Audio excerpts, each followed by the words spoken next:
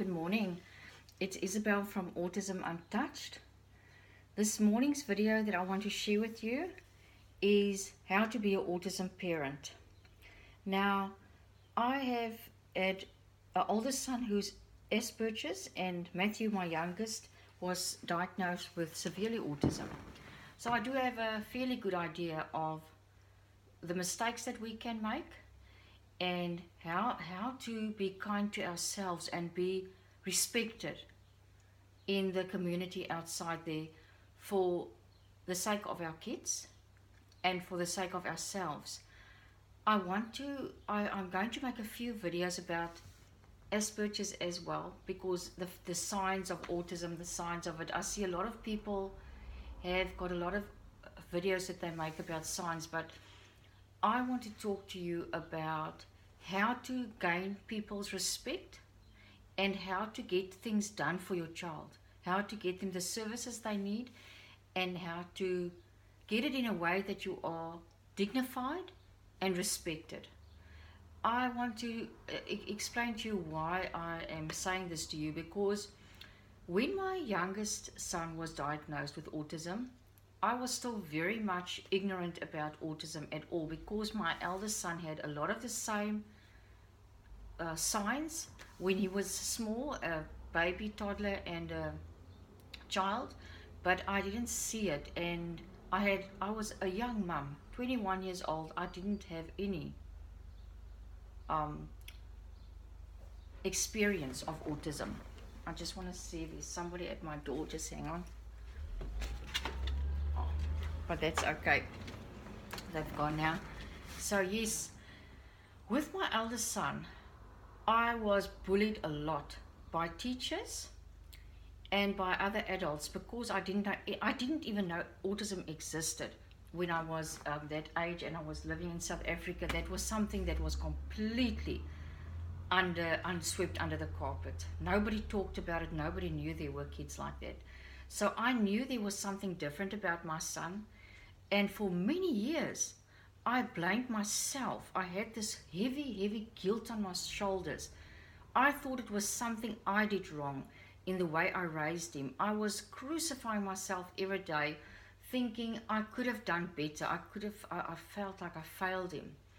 And I'm going to, to make a video to explain to you why it is so, so important for us to take care of ourselves. Because if, if we don't take care of ourselves, we can't take care of our kids. I really feel so strong about this. I want to show you um, how, how I look. About a year ago, I had a change of heart and a change of mind. And I want to share it with you. And I want you to know today, I'm not judging you. I understand what it feels like to be down and out and to feel like you just want to sit at home the whole day and just eat chocolate and donuts and, and drink coffee and just forget about the outside world. Guys, it doesn't it doesn't work for us. It's bad for us, for our bodies and our self-esteem, and it doesn't work for our kids. I want to encourage you this morning. Um, I'm not only going to talk about, about me, but also about the, the autism. And because us as parents, we are just as important as our kids. We completely forget about our own needs. Let's be honest, if you've got an autistic child, your in the, in, in the front of your mind at all times is that child's well-being and what needs to be done for that child. You are constantly thinking about that child's future. And i'm going to share a lot of things with you guys so i really just i'm excited that i can encourage someone and that i can tell you my life was really a mess. Um, and i i know things can be turned around. So about a year ago I had numerous days where a lot of the feedback that was coming my way about my son, like I've told you before, a lot of it was negative. The diagnosis was negative. Feedback from teachers was always negative. He's not working with them. He doesn't want to do anything. He's this, he's that. At home, I didn't have all of those problems, but it still gets to you. You know what I mean. You you will know what I mean. It still gets to you when somebody keeps on putting your child down it does get to you. You don't always show it, but it does. And you sometimes get aggressive, you get angry, and you say things you shouldn't have said. But this is what I've learned in the past year that I learned that I have to take care of myself. Because if you take care of you, if you take care of your your outer, your appearance, your body, if you are being kind to you, people will start respecting you. I'm telling you, I used to be really overweight. Not judging people that are overweight because I was there for many years. I was an emotional eater. And because of all the stress I had with my with my kids, uh, my girls are, are completely neurotypical. They I've got two girls and two boys, and it was really hard for me to cope with all the criticism I was getting. You know, you can do this better, you can do that better. And a year ago, something in a year changed. I decided I'm going to lose weight. People, I, I, you will think, what has weight loss got to do with, with autism? Listen to me. Hang in there. I decided I've tried years and years and years to lose weight, but I, my mindset was wrong. I wanted to lose weight to show my family I can do it because I went on all the diets you can think of, always, you know, pills, shakes, you name it, I've been on it. And I wanted to show my family I can lose weight because they said to me, You've tried everything, just forget about it, you'll never lose weight. I lost 20 pounds, that's 10 kilos, in almost six months. And I am still I've still got a lot of weight to lose, but I want to tell you, it has done a lot for my self esteem because I used to eat every time I'm upset. If somebody says anything about Matthew or it's a bad report, then I came to the conclusion you as a as a parent that's watching that a, a parent of an autistic child you don't have to accept anything that anybody tells you I don't care if it's medically backed up. You go according to your gut feeling. There is some things that you have to, of course, accept. Certain things, like I had to accept my child can't go to a normal school, Matthew. I had to accept he was not talking at the age of five. It was hard, and I work with him, and he's talking more and more now. But there were some things I had to accept at the time, but things change. And can I tell can I tell you something? There's the Dutch accent coming through.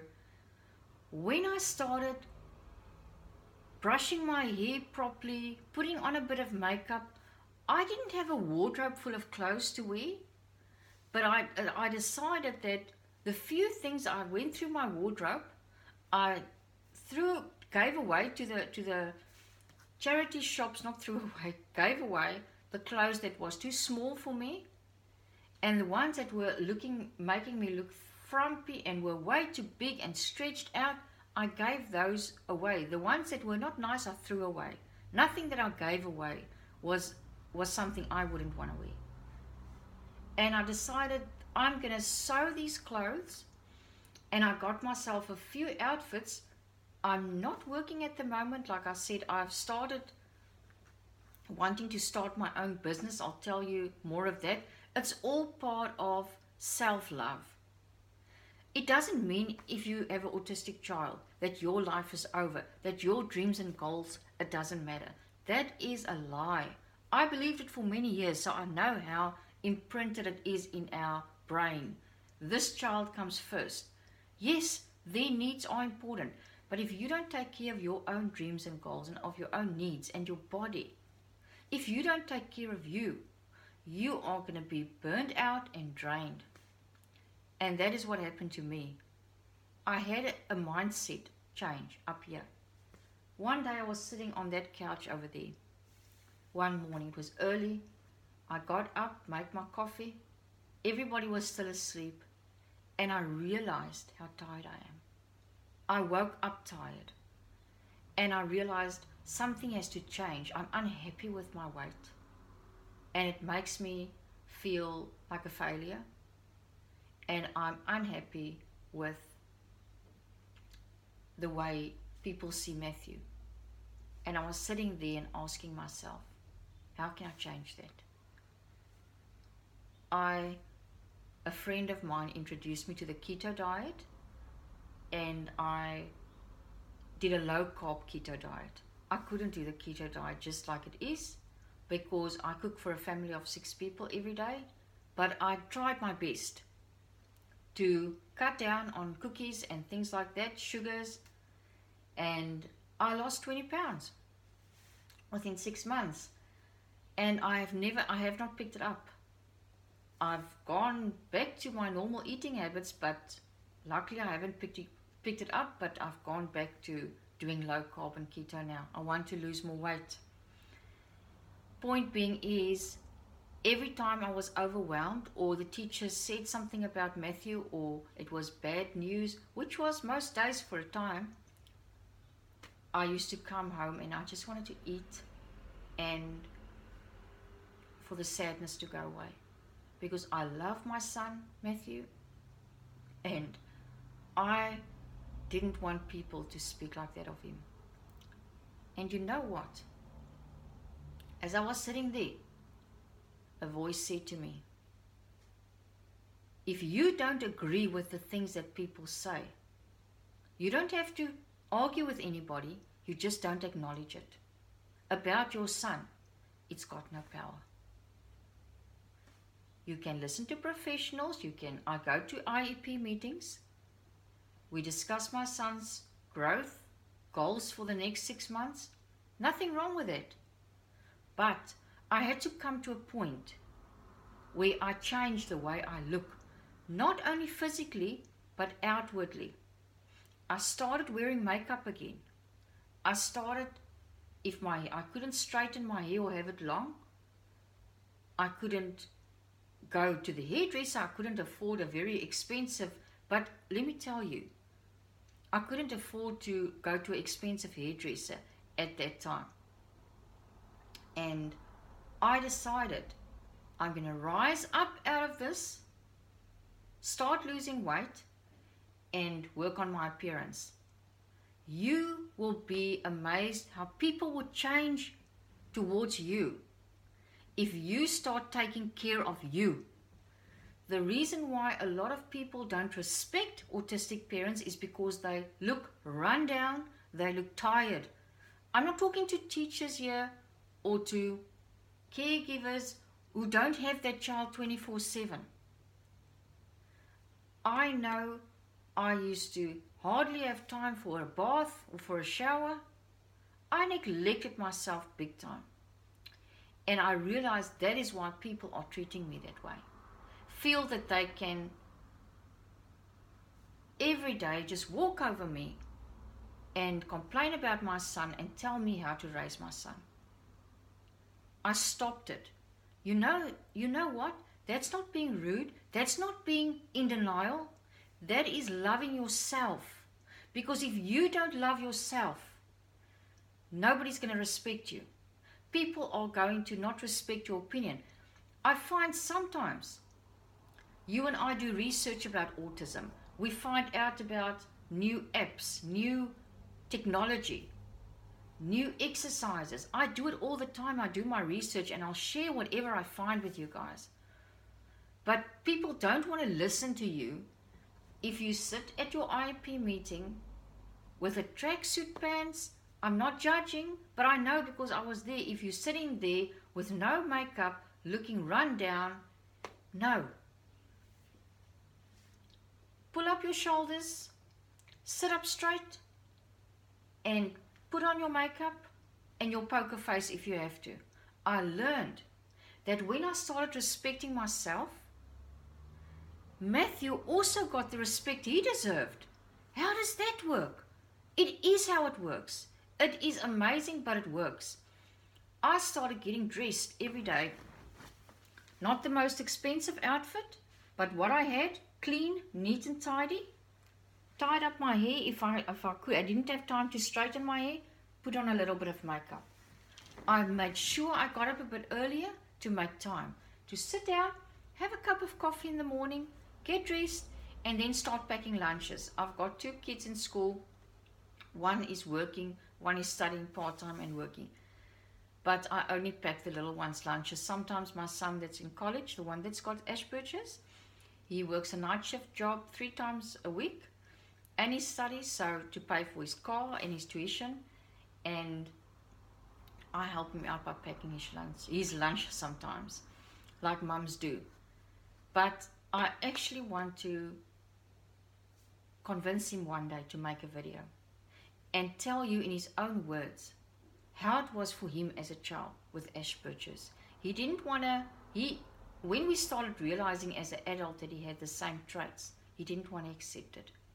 But as I was talking to him and started, I, I, I realized then how much autistic people are being shamed for being autistic, adults or not. They are not respected. My son, the one that is has got Asperger's, he is doing a degree in social work. He's going to be a social worker. Sensitive, good kid. Had some issues as a teenager, but he got through it. And that's what I want to tell you is that if I, if I look back at how I disrespected myself when my oldest son was small, the way people walked over me and did not want to accept that there is something different in him, tried to blame it on me, I just, you know, just walk over me. That's how I was. Single parent at the time. I was a single parent for seven years before I got married to my husband that I have now. And Matthew, I'm telling you, his life changed for the better when I started taking care of me. I started loving myself, allowing myself to, to look presentable. I'm talking to you, especially you women out there. Men as well, but it's more women. Women let's face it, most of us women take care of our kids. Men do help as well, but we are the ones that neglect ourselves. And I want to tell you take courage. I can, if, if you guys want me to make a video of how I, I lost my weight, how I did it, I'll make that. You can put it in the comments. But, uh, yes, I can tell you since I started taking care of my body, putting clothes on, on that it's not perfect, but it at least has got a bit, bit of a, a fit. Putting on some lipstick, a little bit of foundation, a little bit of mascara. Sometimes tying up my hair. Sometimes I'll put a little nice, beautiful clip in my hair. Might look old-fashioned to some people, but it's about our self-esteem, people. It's not about what other people think and it's your attitude. I started going to my to my son's class in the mornings with him as I always go, walking in there proud, shoulders back, looking like here I come. This is my child, I represent him. And if you don't listen to him, you're going to deal with me. If you don't take if you don't respect his boundaries, you're going to deal with me and I wasn't being rude. I didn't have to get upset, crying when I'm upset. I stopped doing that because you know what? People feed into that. When you start crying and get upset and you're all flustered when, when, when people upset you and tell you things about your child, no. Keep calm and cool. Respect yourself and people will respect you. I'm telling you, it has changed Matthew's life for the better as well. Have a lovely day. I'll speak to you guys later. Bye bye.